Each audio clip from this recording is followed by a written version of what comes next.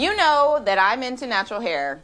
I think it's empowering to show my natural locks on TV and everywhere else. It's bold, it's beautiful, and I, I just have to say it defies gravity, which means that my hair is everything.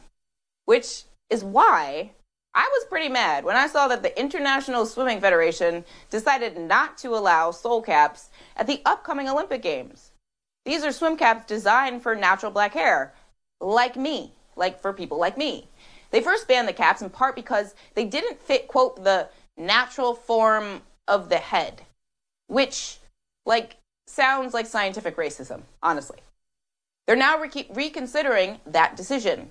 But time is running out to make the change because the Tokyo Games start one week from today. In fact, many of the athletes already are in Tokyo.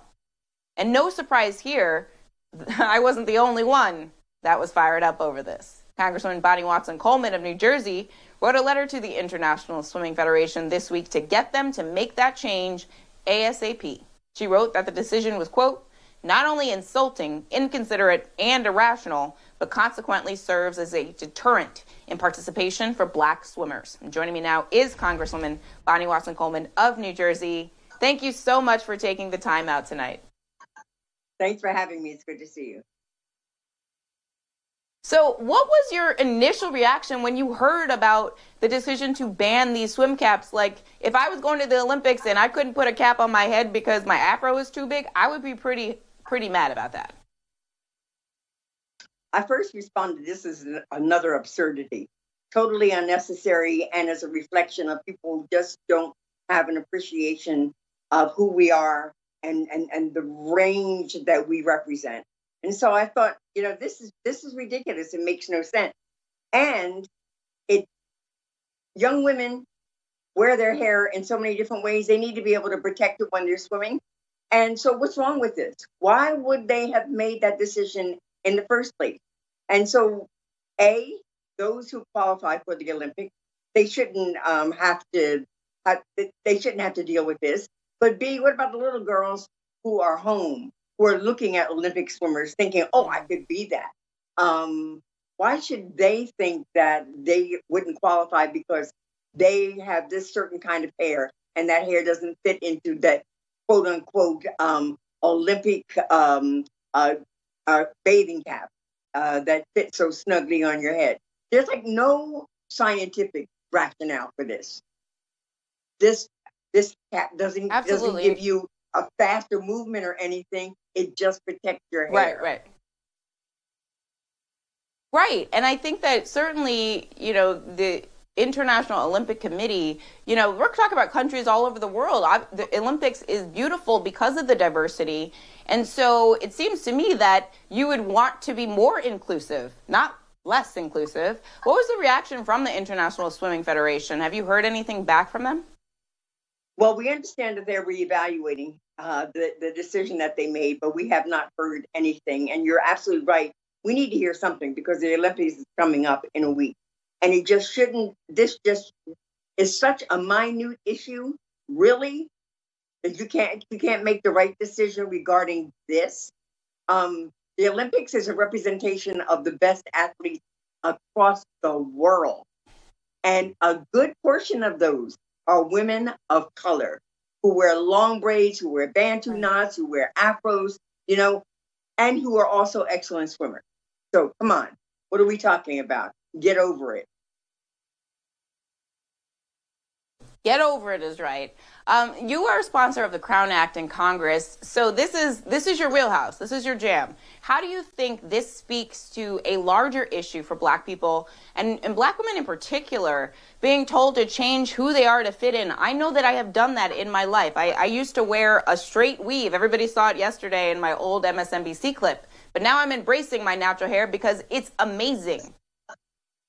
So I think that this is sort of an extension of the of of the, the realization that we're dealing with discrimination um, on so many different levels that people hadn't even thought about it before.